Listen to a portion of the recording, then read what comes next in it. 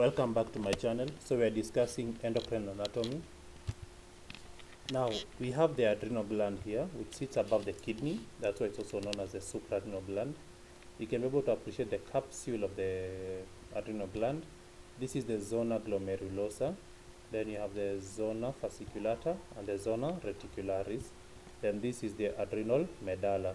So remember the glomerulosa releases aldosterone, which is a mineralocorticoid. Then the fasciculata releases glucocorticoids such as cortisol, and the sex steroids are released from the uh, zona reticularis. The adrenal medulla releases catecholamines, and these catecholamines include adrenaline and noradrenaline. How to differentiate these zones? The first zone you can be able to appreciate you have very dark staining nuclei, okay, with pink cytoplasm. Then the zona fasciculata will have pale staining cytoplasm because this is usually lipid droplets. So this is fat. This is how fat looks like. And then you can be able to appreciate that the lipid droplets are fewer here. So this is the zona reticularis. Then now this is the adrenal medulla. You can be able to see these uh, ovoid cords that are organized. And usually this pattern uh, is characteristic of sinusoidal uh, systems. So usually have uh, draining sinusoids that drain the venous blood from the adrenal cortex and also will take uh, from the medullary vein. So you can be able to appreciate that here you have uh, an adrenal uh, sinusoid. So the embryological sources, the cortex comes from the somatic mesoderm, while the medulla comes from neural crest cells. So the factors that affect aldosterone secretion, one is the renin-angiotensin system.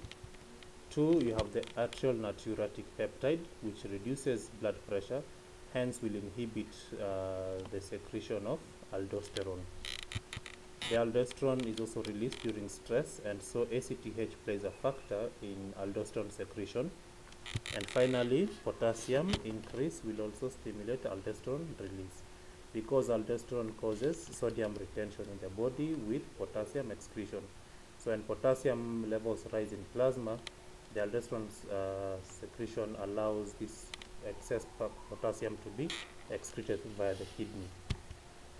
So here you have the pineal gland and the habenular nuclei. So A is the pineal gland and B is the habenular nucleus. So you have the lateral habenular nucleus and the medial habenular nucleus and so these connect directly with the pineal gland. So these structures here form what we call the epithalamus and so you can be able to see this is what we call the interpeduncular tract. It comes from the habenula and goes all the way to the midbrain. So the the thalamus usually uh, is is between the uh, pineal gland so this is the pulvinar of the thalamus. So you can see the thalami there, and this is the third ventricle. So this is a coronal section taken at the level of the uh, pulvinar, and you can be able to appreciate the pineal gland. So the pineal gland is made up of pinealocytes, which release serotonin and melatonin. Melatonin in humans regulates sleep cycle and appetite. In other mammals, it regulates the reproductive cycle. So you can be able to appreciate that the pinealocytes are the ones that uh, form the melatonin. Then they are supported by the glial cells and also it is richly vascularized. Note that the pineal gland has no uh, nervous tissue. So there is no nervous tissue within the pineal gland. Then you can be able to identify this as the parathyroid gland. So A are the chief cells which secrete parathyroid hormone and B this clear uh, cytoplasm. These cells with clear cytoplasm, these are the oxyphil cells, and currently their functions are unknown.